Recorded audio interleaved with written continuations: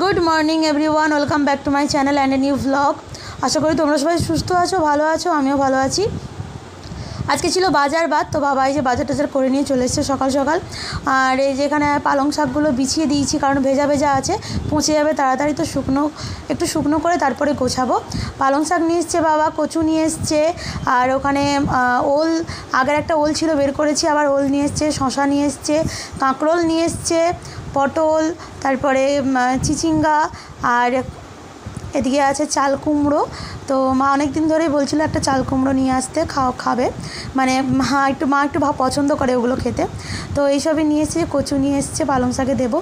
তো এইসব সবজি নিয়ে এসছে, আর মা এখানে বসে গেছে আদা, রসুন ছাড়াতে আমাদের বাড়িতে যদিও প্রায় মানে মশলার জন্য এটা দরকার হয়।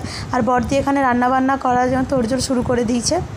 আর এখানে বাবা যে চিংড়ি মাছ নিয়ে এসছে আজকে, কারণ চাল কুমড়ো এটা ওটা নিয়ে এসছে বলে, আর নিয়ে এসছে ভোলা মাছ। এইসব মাছ টাছ নিয়ে এসছে, আর ভোলা মাছটা অনেকটাই নিয়ে এসেছিল বাবা, তো আমি তাই ধুয়ে টুয়ে ভালো করে ফ্রিজে ঢুকিয়ে দিলাম, ভরে দিলাম আর কি।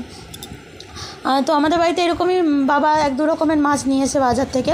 আর একটা কাকু আছে তো, সে কাকু বাড়িতে এই দেখো কামরাঙা দিয়ে গেছে অনেকটা, মা বলছিল দিয়ে যাওয়ার জন্য, ওদের নাকি গাছে হয়, তো এটার একদিন চাটনি করে খাব।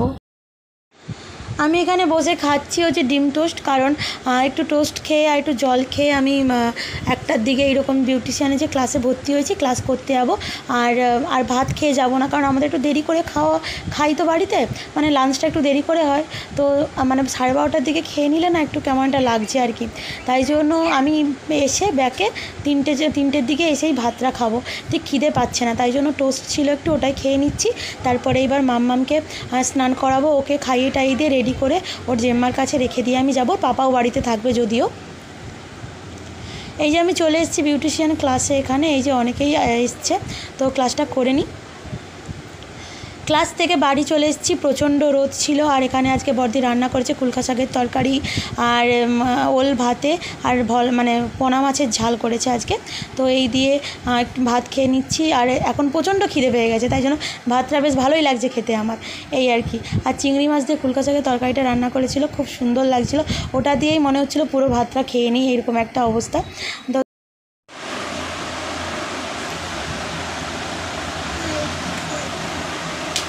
মানে বলো।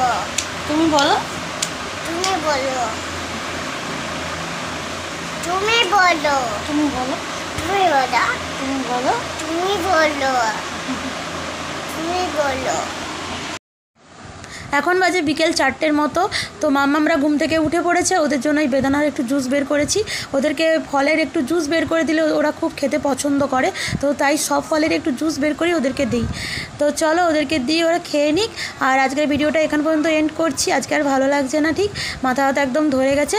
তো চলো দেখা হচ্ছে নেক্সট ব্লগে চল, টাটা বাই